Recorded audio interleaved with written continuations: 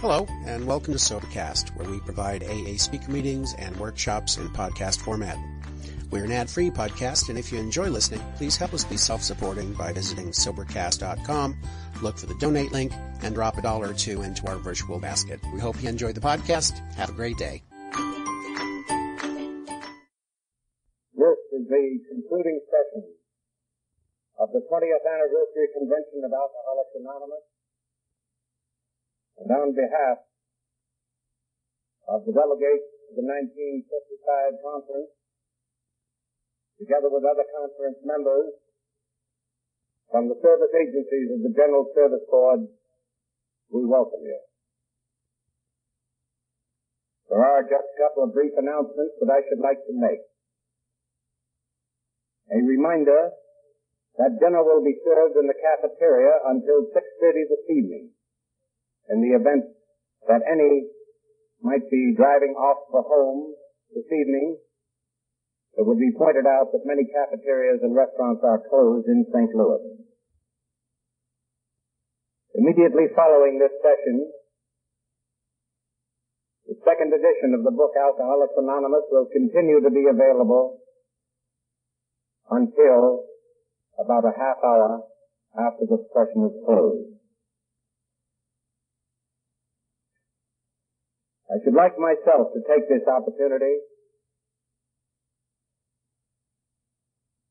of extending a tremendous debt of, grat- debt of gratitude to all who have worked with us in making this convention the success that we hope you think it has all been. And as the opening session starts, I have a very great pleasure to introduce a man who has given so very much, not of his time necessarily, there has been much of that, but who has given so much of his heart to all of us. He is not an alcoholic. But we love him so very dearly. And so, I should like to introduce to you the chairman of the board of trustees of your general service board, who will discuss for us the material which he has entitled The Paradoxes of AA. And with that remark, I'm very happy. Now, look at this. Look at this. I have completely messed up everything.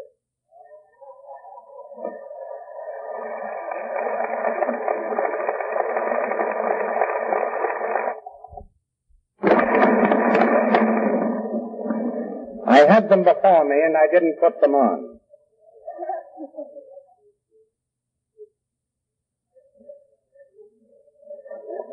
I now feel that this convention is more of a success than perhaps anyone has thought it ever could be.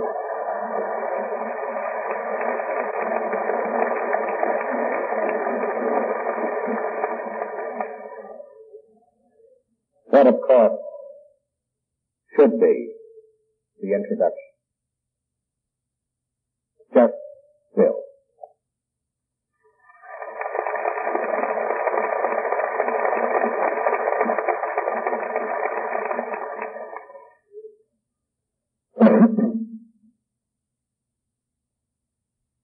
Above us, we see a banner. And that banner shows a circle, which is AA circumscribing the world. And within it is a triangle. And the base of the triangle, on the recovery on which we stand, the left of the triangle symbolizes our unity,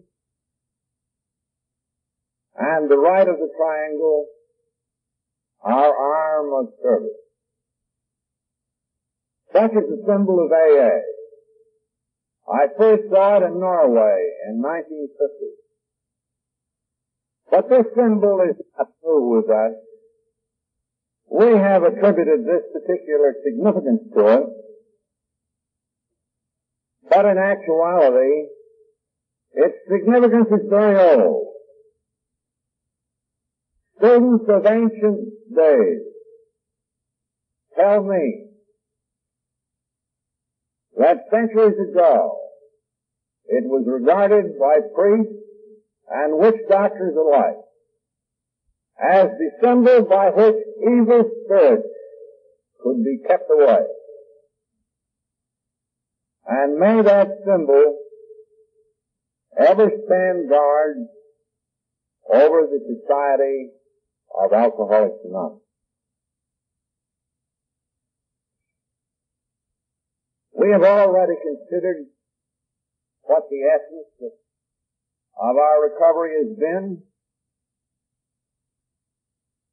We have turned back the pages of history and watched the various channels of influence and of help coming through so many who formed this confluence, which is AA.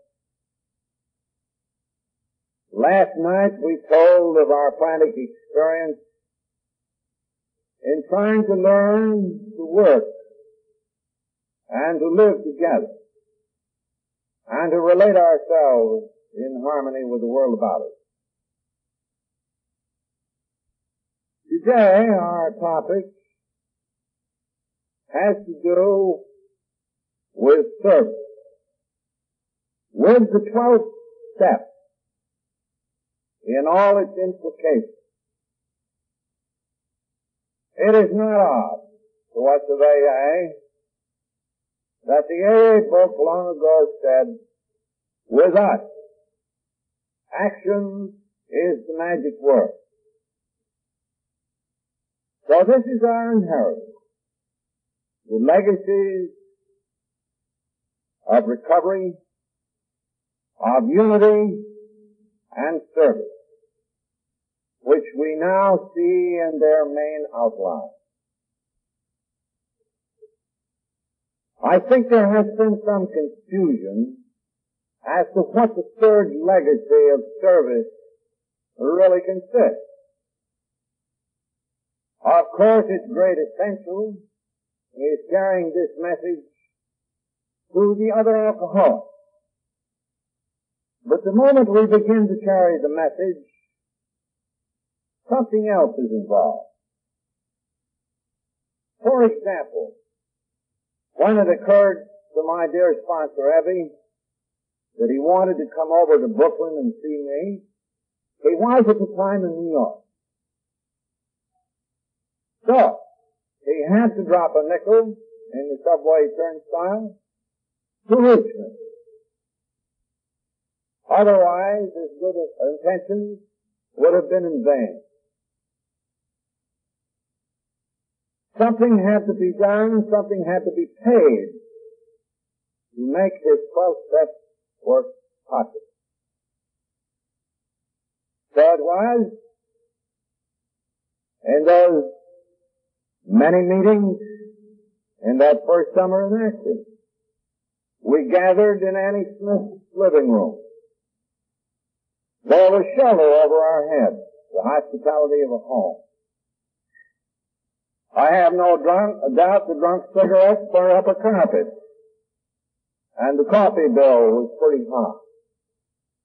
But that shelter and that coffee, even those cigarettes, if I may say so, no doubt facilitated carrying this message one to another.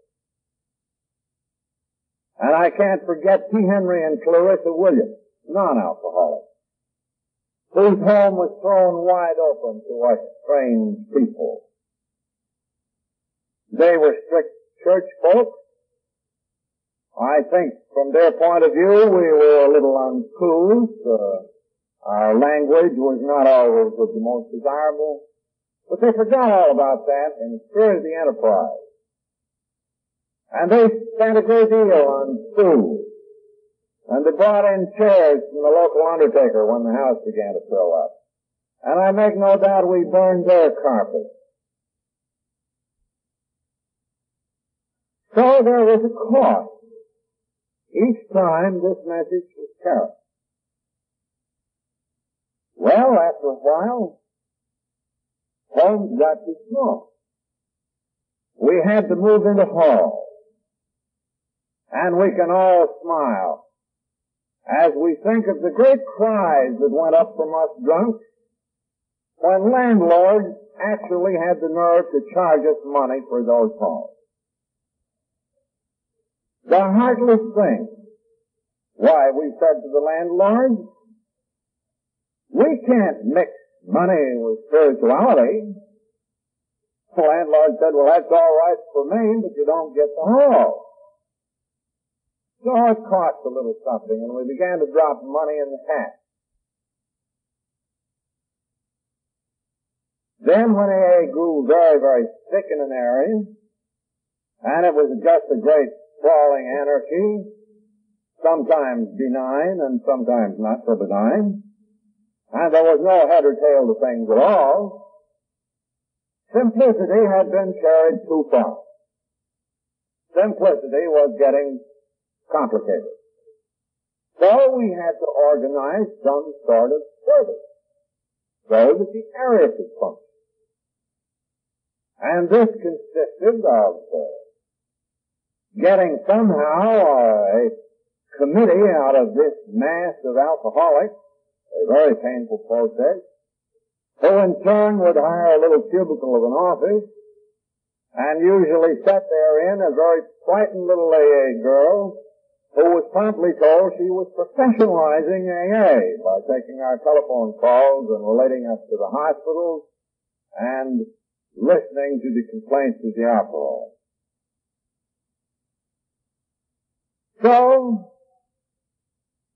the third legacy really involves everything, inside or outside of AA, that legitimately helps us to function. For example,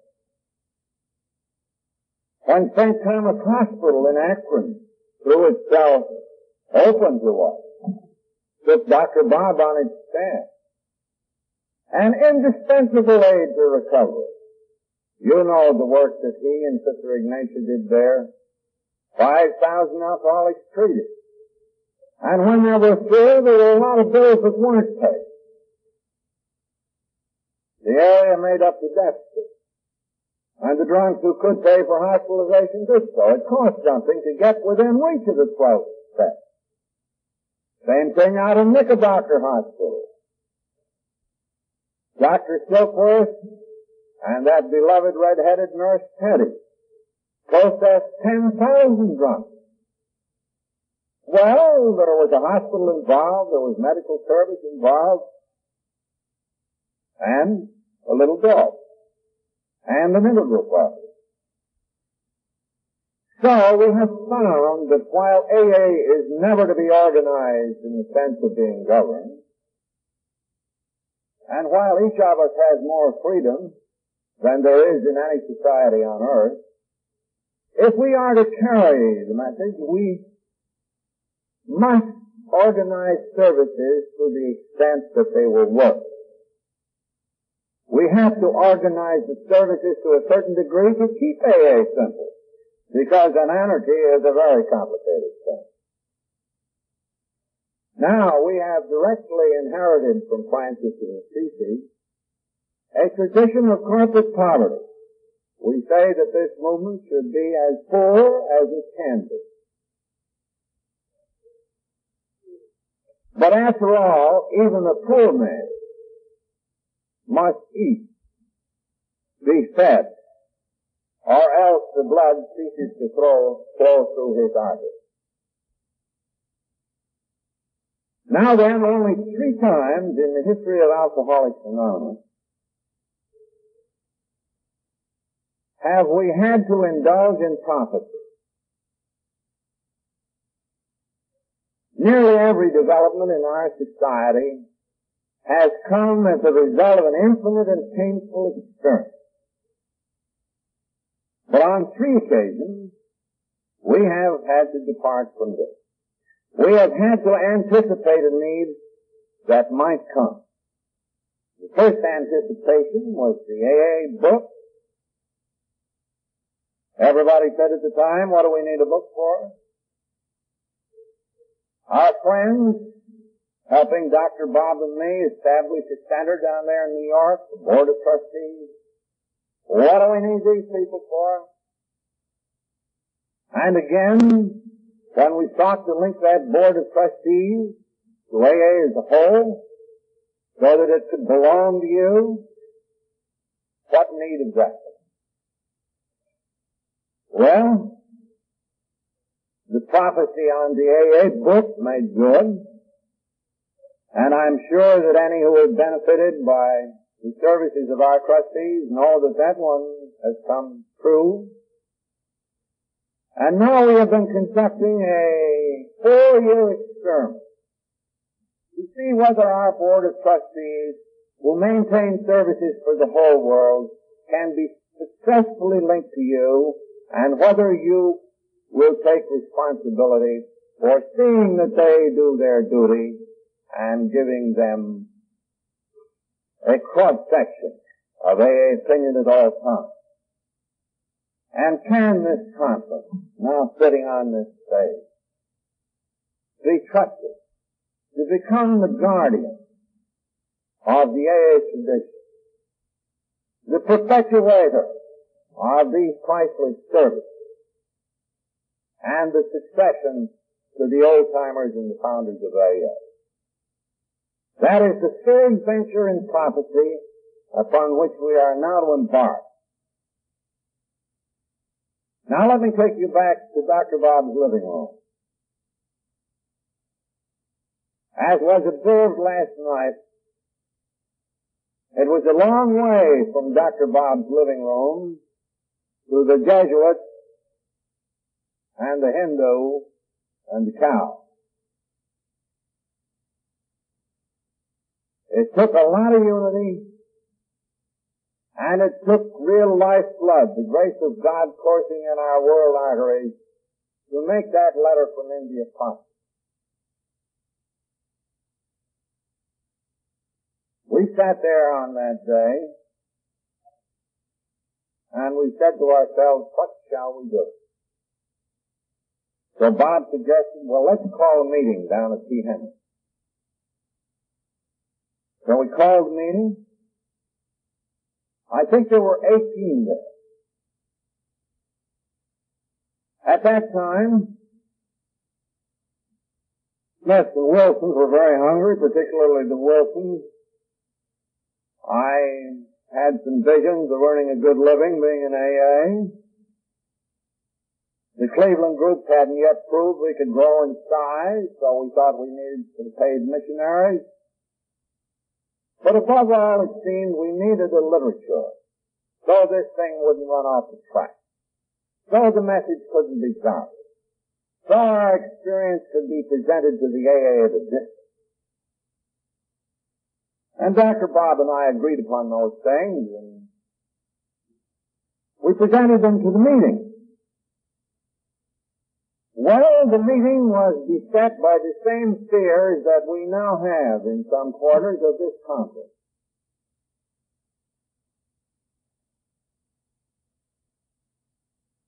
At least eight of those present said no. Let's not change anything. Let's not get into professionalism. We're going to quarrel over what goes into this book. Let's keep AA simple, said Agassiz. But then we advanced the same argument, we promoters. We said, but if you try to get it as simple as that, it won't get anywhere. The message will get garbled. We'll be ridiculed. It'll get more complicated. So by the narrowest of margins, when the vote came, that little group decided that I ought to go back to New York and raise money. Wasn't much money in Akron, but there was plenty in New York. For paid missionaries, probably a chain of hospitals out of which we could make a lot of money and, um, and certainly some kind of a book or pamphlet about our operation. Well, you know, I spent years down Wall Street and feeling now that we had the answer for alcoholism. Why, raising money like this, for this thing be like shooting fish in a barrel. So I tried a number of rich people and there wasn't any result. Tried and tried. We had some other high pressure salesmen around New York. We tried and tried. Absolutely nothing happened. I began to be very disconsolate. Remember Lois was still in that department store. And, uh, one day I was in my brother-in-law's office. Leonard Strong, he's a physician. I was bellyaching how stingy the rich were on this matter of money for this new development that doubtless would sweep the world. Well, he'd heard a lot of this before, and somewhat wearily he said, well, he said when I was in high school, I used to know a girl, and I think that girl had an uncle, and it seems to me his name was Richardson, and if my memory serves me right, he has something to do with John D. Rockefeller's charity. I think he must be connected with the Rockefeller family. I believe he'd remember me if he's still alive. On that slender thread of recollection hung much of the destiny of Alcoholics Anonymous. Said he, shall I call him up? Oh boy, yes. He called up the voice of dear old Willard Richardson, now gone from us some years, came on the wire and he said, why hello Leonard, where are you, where have you been all these years? I'd love to see you. So my brother-in-law said, well, I have a relative here and there's been some success with alcoholics. Could we come over and talk to you? And lo and behold, we go over to Rockefeller Center right up to Mr. John D. Rockefeller's private offices, in the front door, and soon we're sitting next to one of the greatest friends that family ever had. I'll tell you so themselves. Well, now for more, this was really getting hot, you know. I, this kindly but shrewd old man listened to the story. He immediately said, well, shouldn't we have another meeting? By all means. I had lunch with him. And then came a momentous meeting which actually took place in Mr. John D. Rockefeller's private boardroom. It consisted of Dr. Silkworth and uh, Dr. Smith from Akron and a couple of drunks from out there and some of the New York contingent. And by this time we'd acquired some new friends, friends of Mr. Richards. There was also present Mr. Leroy Chipman, who later became one of the trustees, and our beloved Frank Amos, who is still on the board. I was told soon after I came into Mr. Rockefeller's boardroom that I was seated in a chair that Mr. Rockefeller had just vacated. Well, now for a promoter, that was really getting things hot. Nothing to it. Upshot of the evening was we tell a story. Mr. Scott of the Riverside Church, prominent in the New York engineering firm, was there too. And after we told our tale, this perennial question again arose.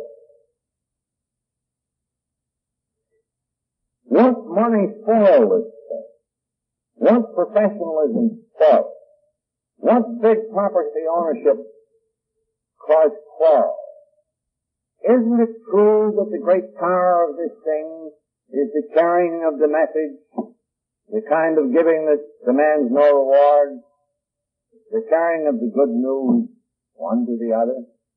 Yes, we admitted that it was. But we'd only been able to carry it up to that time to about 40 people in three years. And now we had an answer. Well, they became convinced. They really thought we needed some money and probably quite a lot of it. Frank Amos was sent out to Akron he looked over that situation, came back with a very enthusiastic report.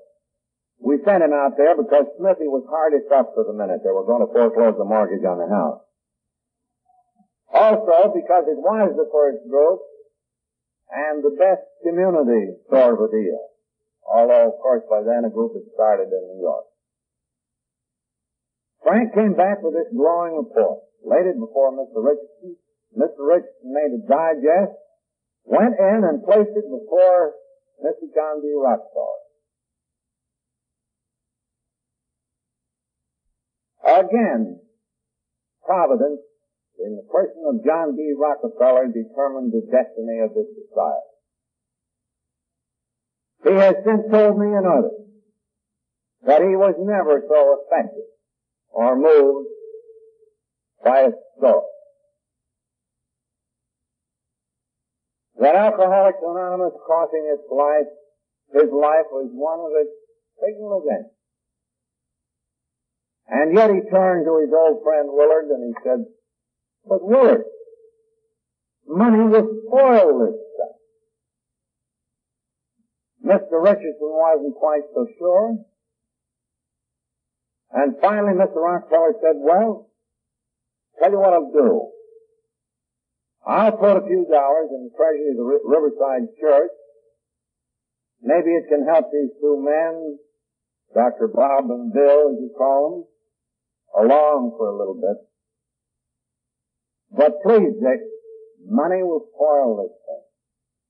Don't ask me for any more. So $5,000 was put in the treasury of the Riverside Church, and Bob and I were eased through the year of 1938 by it, and the mortgage was lifted off the Smith home. We were a very long way from hospital chains, paid missionaries and books. Thank God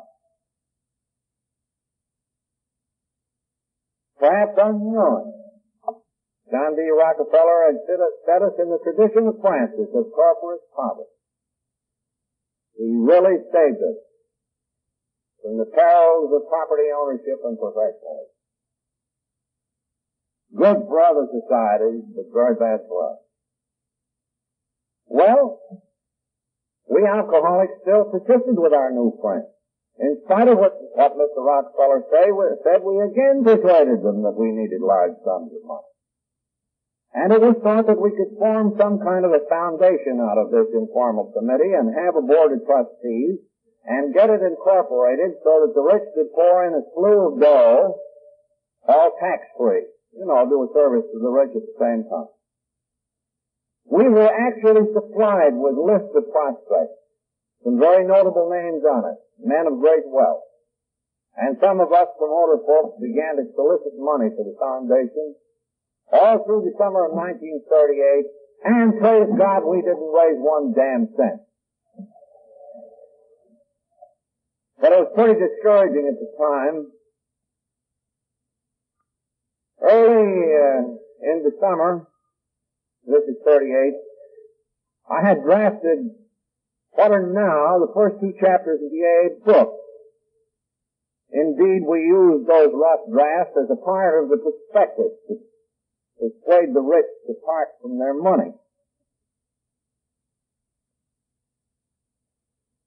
So our great ambitions for prestige and wealth and missionaries and hospital chains by now were collapsed. But of one thing we were sure. We had to put the record of this thing into some kind of a book. And the foundation didn't have any money to support us while we prepared the book. And by this time we were having trustee meetings and our new friends commiserated with us at each meeting. Guess we had one every month then.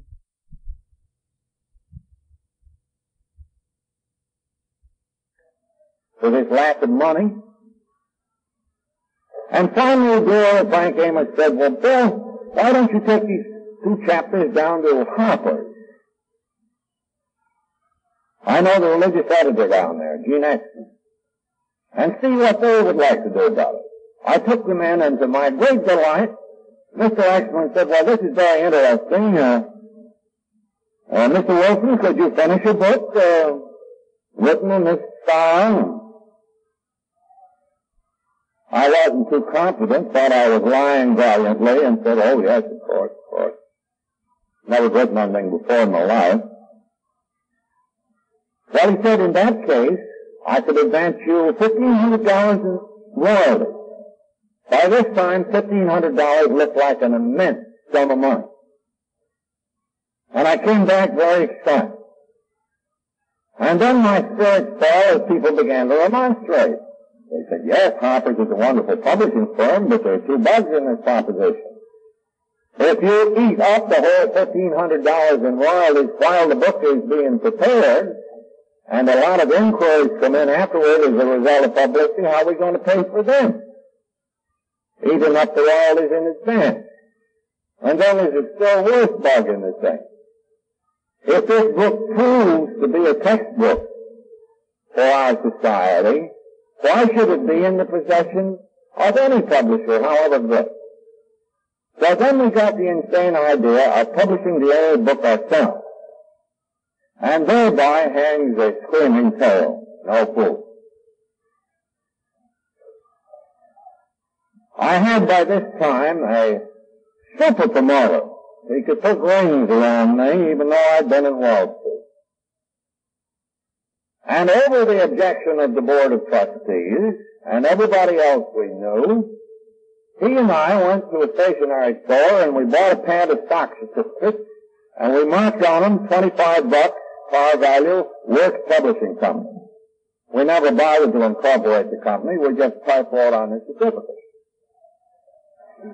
So then we tried to peddle the certificate to the alcoholics and their friends around New York. Well, we just got a terrific horse left. What did they say? Buy stock in a book not yet written? And we couldn't peddle a share. Well, we figured that we had to appeal a little more to the profit-making instinct in the alcoholics, and so we went up to the Reader's Digest. We Said to the managing editor, well now here is the budding society, here's the story, here are our fine connections, Mr. Rockefeller, Dr. Fosdick, and all these nice people. It's a real good idea, would you like to print a piece about it? And the managing editor, then Kenneth Payne, said, why certainly, this is right up the digest alley. And then we said, well now uh, we're preparing a book, it'll be out next spring we hope, and about next spring, could we get an article in the Reader's Digest uh, just mentioning this book? You wouldn't mind putting something in about it. No, that would be fine. He thought that would be just what the Digest would like. We rushed back to the drunks and say, look, this thing is a finish. In those days, printing costs were very low. We paid no attention to the other publishing costs, and we said to the drunks, now look, how are you going to make? Harper says this is going to be a good book. We can sell this book for three fifty, and it's only going to cost us thirty-five cents to it. Now, if the Reader's Digest, with a 12 million circulation, tells about this book, they're just going to go out in carloads and, Lord, this stock of yours will be worth, well, you know, maybe millions, can't tell. So a trickle of money started to come in from the stockholders, which began to feed the Wilson household and my old friend Hank's household, and we hired a little gal, known and beloved to us old timers. Some of you here will remember her, Ruth Cox. And I began to slowly dictate the chapters of the book to her. But I soon found I was no author. I was only an umpire. I shipped the chapters to Akron. We shipped them to New York. Uh, we discussed them in New York meetings. And the bells over what was to go into that, that book was something terrific. There is a sort of an illusion around among the AAs that, uh, you know, there must have deacons uh, with bright white robes and all with peace and serenity. Boy, the hassles over that book were something terrific. And they were especially bad the 12 steps were written. Because the drunks weren't getting up any money on the works publishing stock and the larder was running low, and I was having an imaginary ulcer attack, and we got a few chapters done, and we figured we got to put a backbone into this book of some sort. And I kind of thought we had to take these six steps in Ebby's formula and blow them up so they'd be a little more concise, and so the dunks couldn't wiggle out anywhere between. And about that time, a couple of guys came in with some waffle blanks, and I was sick of bed, and uh, I was real mad all over.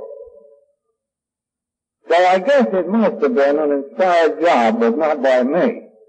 At any rate, those 12 steps were drafted in about 30 minutes, I guess. Afterwards, the halfling uh, introduced a couple of other ideas, lifesavers.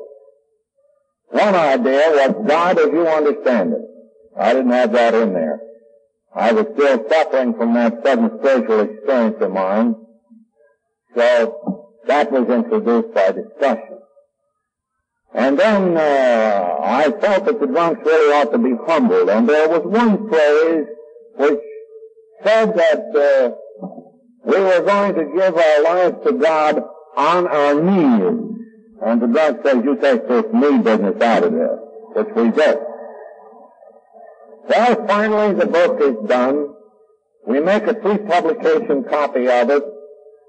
We ship it, we ship it around to everybody, psychiatrists, doctors, clergymen, Catholic Committee on Publications, New York, went through there like a breeze. They said, why, this is swell. Just gotta make one change. At the end of your story, Bill, you say that we found heaven right here on this good old earth. You can't have it that way. We're promising the folks something much better later on. Can't you change that to utopia?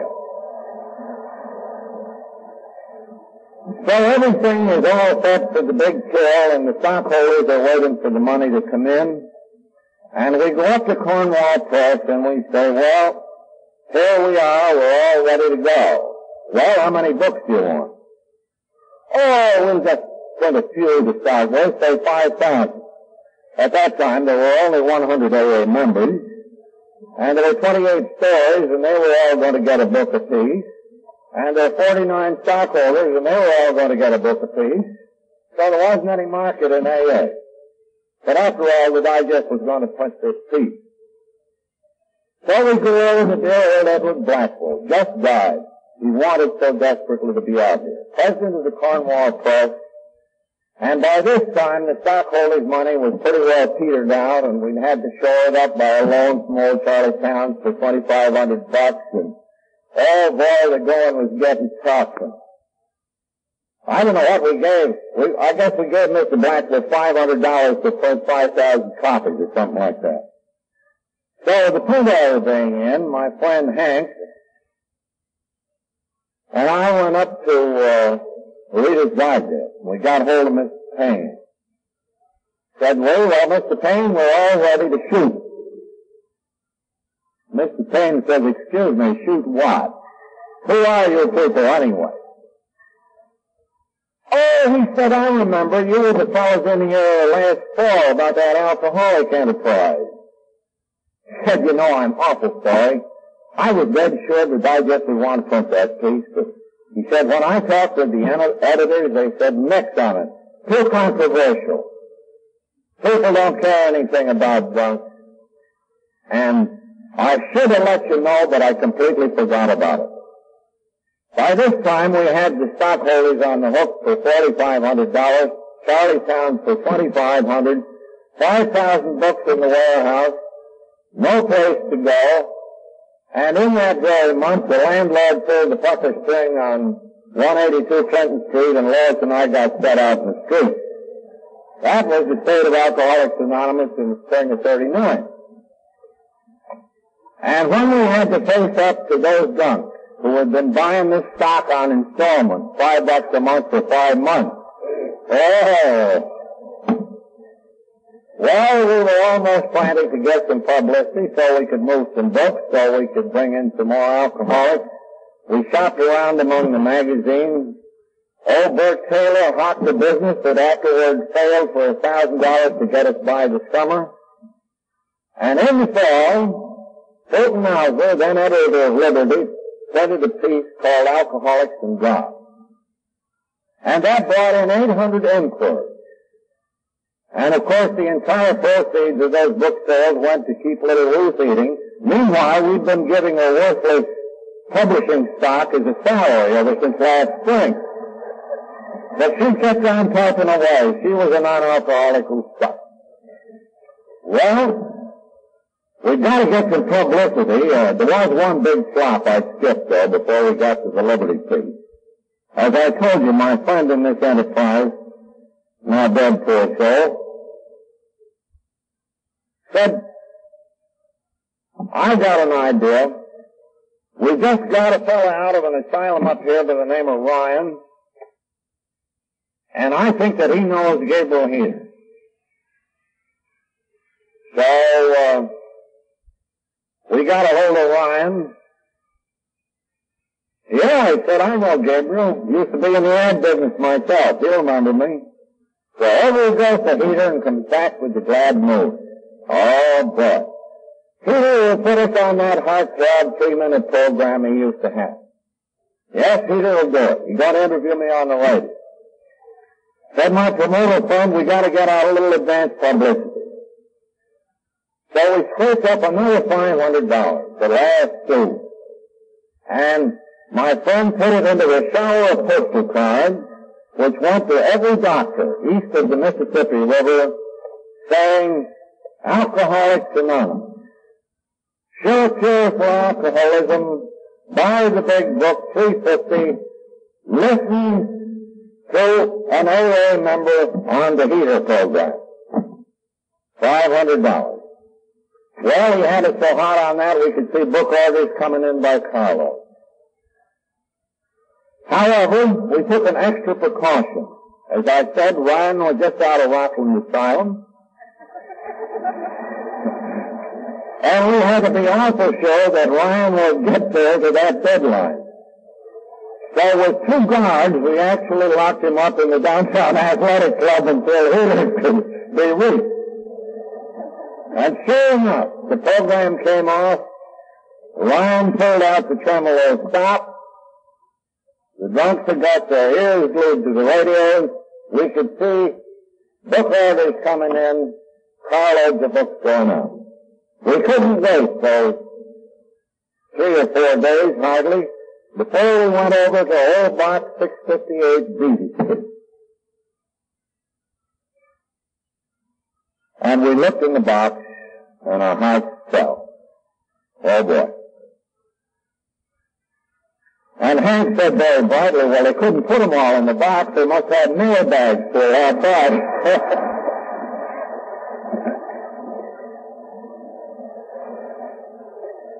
so, we went to the window, and the clerk bought us exactly 12 postal cards. And we had exactly two orders for the book Alcoholics Anonymous, and the rest was from doctors, mostly intoxicated, ribbing the dickens out of it. And our enterprise collapsed right then and there.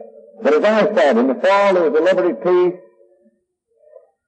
In 1940, Mr. Richardson came into the trustees meeting with big news. We hadn't heard from Mr. Rockefeller since 1937. He said, Mr. Rockefeller's taking great interest in this thing would like to give a dinner for Alcoholics Anonymous. Invite in some of his notable friends. Mr. Richardson produced an invitation list. When we looked at it, we were bug-eyed. It would add up to at least a billion dollars in wealth. Well, we figured Mr. Rockefeller changed his mind. The money troubles were all over. Nothing to it. So there's a big dinner at the Union Club. Mr. Rockefeller was sick that night. Sent over Nelson. Harry Emerson Fosdick came and gave us a big plug. So did Dr. Foster Kennedy, the neurologist. And of course the drunks took their turn. This guy Morgan, still sober out of the asylum, was there. And we planted the drunks around at the tables with the bankers to kind of indoctrinate them. One asked Morgan, well, Mr. Moore Mr. Ryan, I suppose you're, uh, oh, I suppose you're in the banking business. Oh, no, said Ryan, I'm just out of Rockland Asylum, but this area is wonderful. Well, at length the moment for the big touch had come. You could see they were all softened up. Then up gets Nelson Rockefeller and he said, my father is so sorry he can't be here tonight. He is so glad that you people have seen the beginnings of this society of great promise. Few things more affecting than this have ever crossed my father's life.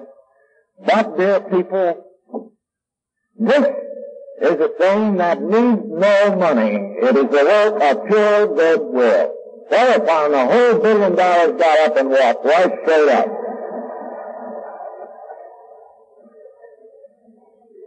Afterwards, Mr. Rockefeller wrote all that came to the dinner and all who didn't. A letter in which he said these same things, and down at the bottom of it he remarked, I am giving Alcoholics Anonymous $1,000 as temporary aid. At some time it should become self-support. When the bankers got this letter, they each began to tot up. If John gives a thousand, how much does that make me? So one guy sent us ten bucks. The highest contribution was three hundred dollars, and each year we asked that dinner list to give us a, a list.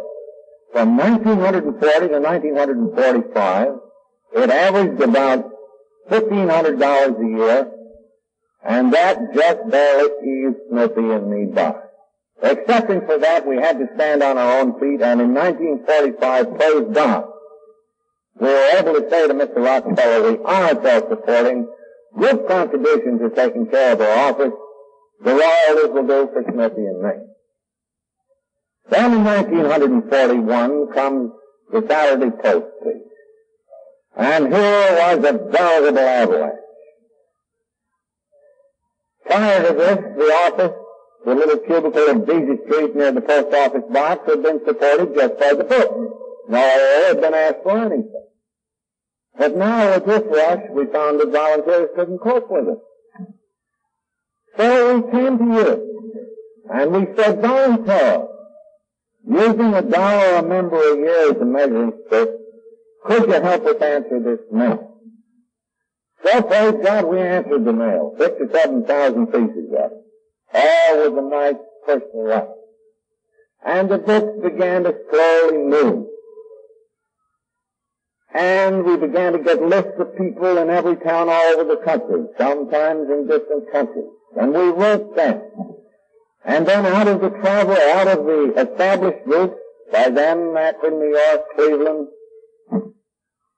Philadelphia, Detroit, Chicago, out of establishing group, established groups, we would give traveling members lists of these prospects. And so AA began its quest. A thing you understand so well. But shucks, that was only the beginning. As soon as these AA groups began to form, all of their troubles began to pour back onto this office. And we began to retell to them the experience of the older groups. And it was in this period that the AA tradition began to take form, finally published in 1945. The tradition couldn't have been ever thought of or published, I think, unless we'd had the focal point of that headquarters. Meanwhile, the stockholders of the book had been rather hurriedly bought out by a non-alcoholic friend who raised the money to do it. He got some off from Mr. Rockefeller, and some off from one of the boys, and a few of the dinner guests, and we paid all of the stockholders out at par. Now then, uh, that naturally put Hank and me on the spot. We each had a piece of this too, you know. So we gave ours to the foundation, and that gave this board of trustees, then called the Alcoholics Foundation, the title to the book. So they began to own it in trust for our whole society. Well, the Saturday Post piece catapulted it up into national attention. So pretty soon we got a public relations problem. A big one and a delicate one. What attitude we, we take toward medicine, toward religion?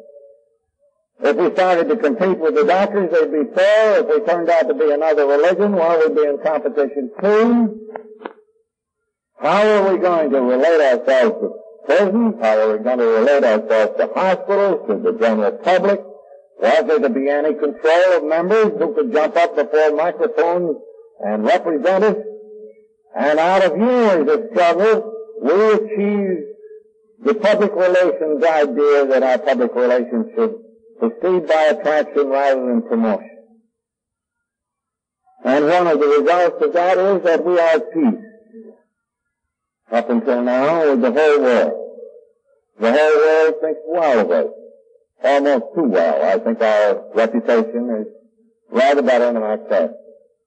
But a sound public relations policy, well administered, was necessary to bring that about. Then problems just multiplied and multiplied. There were questions of translation. There was the question of a whole pamphlet literature. And little by little your headquarters grew. All this time, under the guidance of the Board of Trustees consisting of some of these old friends and a few of us alcoholics. And it grew to the point where now books and pamphlets are shipped in tons per month. It grew to the point where letters are written to the tune of thousands per month on all kinds of subjects and to all parts of the world. Your office staff now consists of five gals and part-time hanks. Meanwhile, the grapevine had come along. That was started quite independently, but it took on nationally. It was attached to the foundation, separately incorporated, but the foundation has its control. And the grapevine took on nationally and internationally and became a current means of communication between us all. A sort of a magic carpet on which we can ride from place to place on the area spectrum. So the grapevine was born. So was the service office. I wish I could detail for you just what that deal is like down there. You really have to see it to believe. One of our services is to show visitors around. And since we opened uptown, near Grand Central, hundreds, if not thousands of AA visitors have for the first time got a world vision of AA. AA functioning as a whole worldwide. By the time 1948 and 9 rolled around, well, another terrific problem had presented itself. A problem even more perilous than that of anonymity breaking, which has since been shrunk down to almost nothing. And the problem was this. Dr. Bob was falling ill. In all probability, mortally ill. Some of us woke up to the idea that a few of the girls in the office and he and I were the only links to Alcoholics Anonymous as a whole. The trustees were completely unknown to you, inaccessible to you. They were morally responsible to you, and certainly they had lived up to all of that. But you couldn't hold them accountable. They were an independent body. They had your public relations, your money, your literature, your magazines, your books. They owned it all in trust for you. And here were just us few, a linkage. And one of the links was going to go out, Dr. Bob. So we realized that unless we could link the trustees securely of the movement, when the day of trouble came, when the trustees made even one big blunder, and fortunately we have been spared from that all these years, then a collapse in the very center would be inevitable, and maybe that collapse could never be recouped. And it would mean the collapse of the world services that without question have accounted for half of the size and much of the unity of Alcoholics Anonymous. What would we do? Well, again, the same question arose. Let's keep it simple. Things are going along all right now. But some of us insisted and Sisters. And when Dr. Bob came near to the day of his death in 1950, the terrible logic of, of it all was forced upon us. We must be linked to this society. And with Dr. Bob's permission, I stumped the country for the so-called third legacy plan. The idea being that these world services are the heart of the third legacy. These services are the primary things that make good folks Epworth prosper and related to the world outside. So I stumped the country to set up a conference of elected people who could meet yearly with these trustees. And the dickens of it was, how could a whole state elect somebody and send them down to New York? We all shivered when we thought of the clubhouse and intergroup balls we'd had on a much smaller scale. How could we do it? And then came this idea of no personal nominations in those assembly meetings. Two-thirds vote or what? The idea is that the man was coming to New York not as a lawgiver for his area, not as a senator, but as a servant of World AA. I never forget how I held my breath in Boston when we first tried it on. The Irish came, they looked at the plan, before the meeting, one of them with a great political mind said, Bill, I got a hunch it's going to work, even here. They couldn't elect anybody by a majority vote or two-thirds vote, and the whole darn committee drew lots to see who'd go to New York. So in came the delegates. The trustees made their report. We threw the whole place wide open. We adopted the principle that on a two-thirds vote of the conference, the trustees would obey. The trustees, in naming their successors, would heretofore hereafter consult the conference. We have finished a four-year experimental trial of this conference, and you must see it if you would believe it. The meaning of it is that AA has gone from the level of politics into statesmanship in its principal service affairs.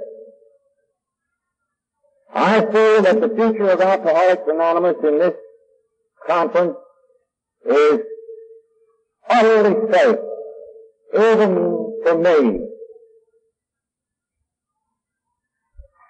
So I present you the General Service Conference of Alcoholics Anonymous.